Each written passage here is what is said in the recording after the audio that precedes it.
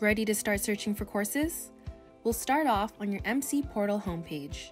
If you need assistance logging in, make sure to watch our video on how to access your MC Portal, or contact our student help desk at 209 381 6565, or send an email to outreach at mccd.edu, or visit our live chat feature on our Merced College Get Started page. To begin searching for courses, click Web Advisor for Students on the right hand side of your page. You may need to refresh Web Advisor if no text appears.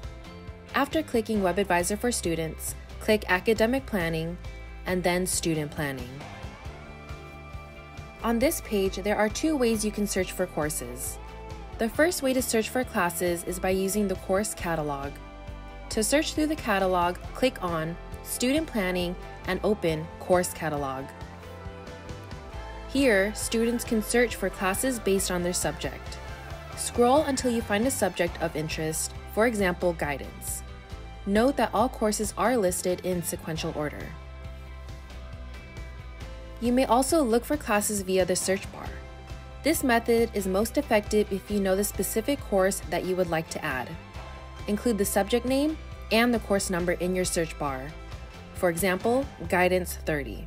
Once you have found a desired course, click Add Course to Plan.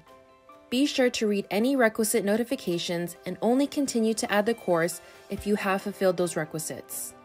Select the proper academic term and once again, click Add Course to Plan.